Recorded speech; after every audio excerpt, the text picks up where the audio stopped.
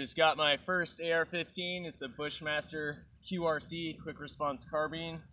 We're testing it out today.